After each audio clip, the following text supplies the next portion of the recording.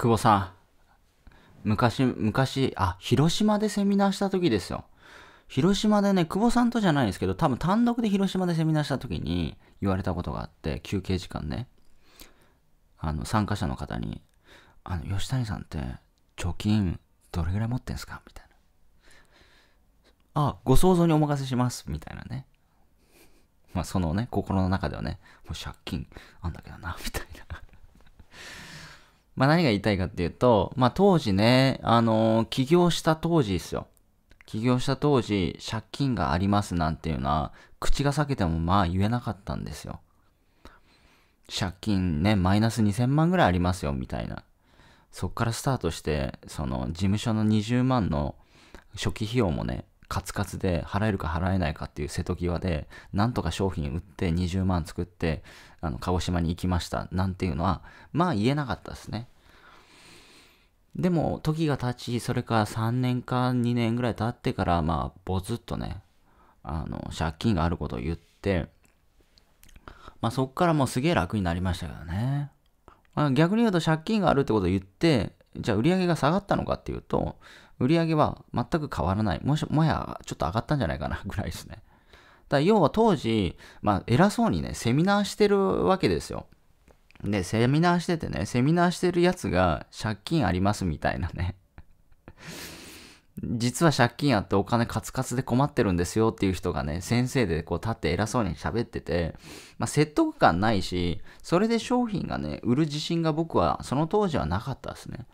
だけど実際言ってみて思ったことが、もう全然今言った方が逆にいいんじゃないかなみたいな。うーん。なんか結局だからそれをどう使うかですよね。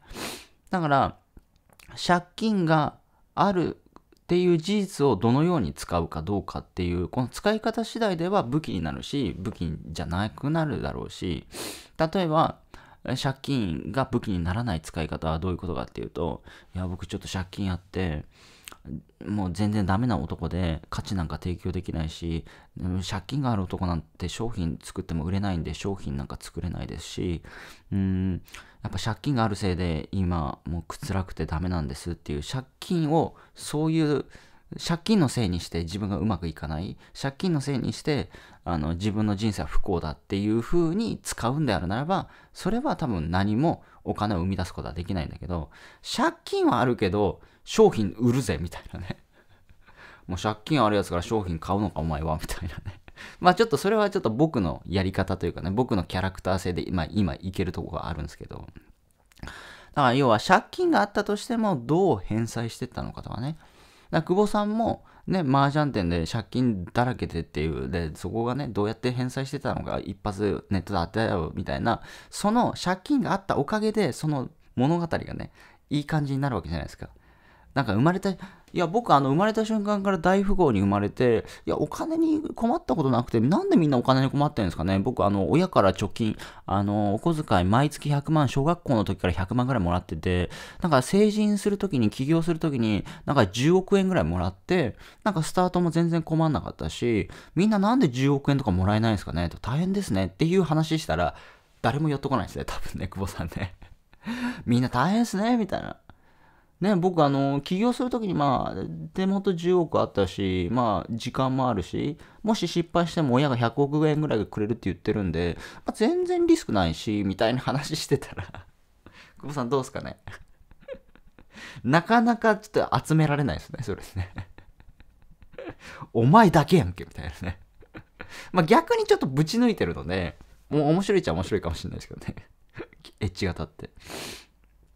だから結局その、今どんな状態であろうが、どういう過去を背負ってようが、まあ、それをどう使うかですね。だどのように使うかっていう、その状況、その状況だけど、それをどのようにうまく使っていくのかっていう、だからマイナスをどうプラスに転換していくかっていうことを常に考える。うん。で、それを実行していく。例えば、ああ、今日は営業マンのね、外回りしてる営業マンの方で、あ、今日雨だ。最悪だな。なんか濡れちゃうな。雨だな。あ、ちょっと喫茶店でも寄ってちょっと休憩するかっていう雨の使い方をするのか。あ、今日雨だなと。雨っていうことは、あの X のお客さん今日在宅してんじゃねえかなみたいな。まあ、最近回ってないし、雨だから多分家にいるだろうな。よし、久しぶりに行ってみようみたいな。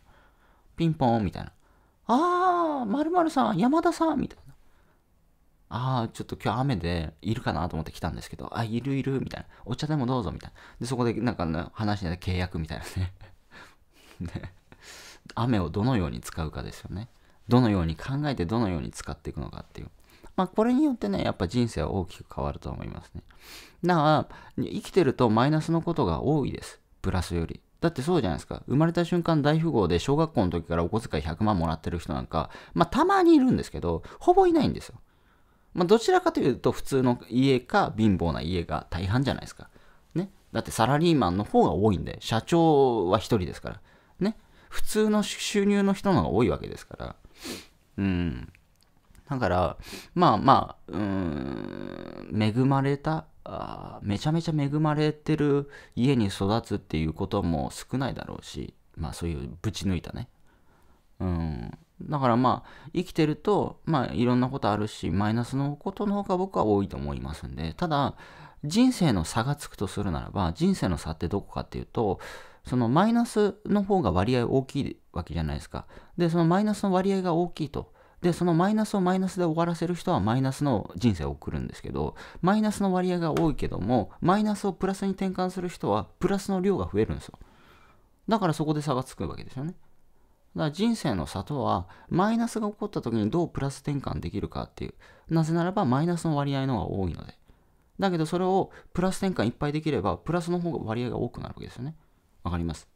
もうマイナスが出てもそれがプラスに転換するわけですから、もう全部プラスみたいな。わかります？全プラスみたいな。そう。だから人生の差って多分そこだと思いますね。いってらっしゃい。